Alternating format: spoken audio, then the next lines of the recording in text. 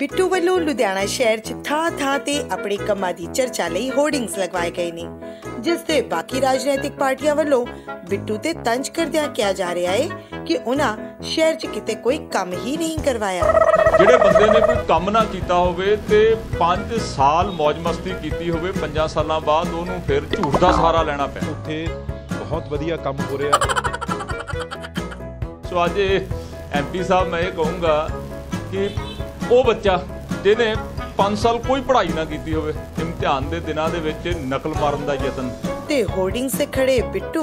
ਜਿਵੇਂ ਕਹਿ ਰਹੇ ਹੋਣ।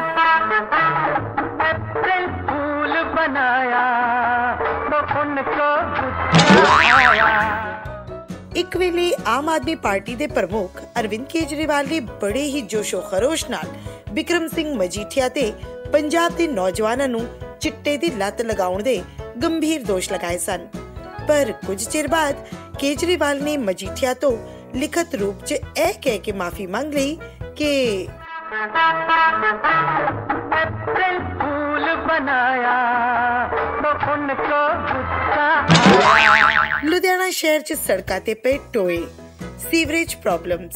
ਥਾਂ ਥਾਂ ਤੇ ਕੂੜਿਆਂ ਦੇ ਢੇਰ ਦੇਖ ਕੇ ਸਮਾਰਟ ਸਿਟੀ ਦੇ ਸਲੋਗਨਸ ਅਤੇ ਆਪਣੇ ਸ਼ਹਿਰ ਨੂੰ ਸੁੰਦਰ ਰੱਖੋ ਦੇ ਬੋਰਡ ਸ਼ਹਿਰ ਵਾਸੀਆਂ ਨੂੰ ਚੀਖ ਚੀਖ ਕੇ ਕਹਿ ਰਹੇ ਨੇ ਕਿ ਸਰਕਾਰ ਬਣਾ ਗਈ ਨਾ ਤੁਹਾਡਾ ਅਪ੍ਰੈਲ ਫੂਲ? ਅਪ੍ਰੈਲ ਫੂਲ ਬਣਾਇਆ। ਨੋ ਕਾ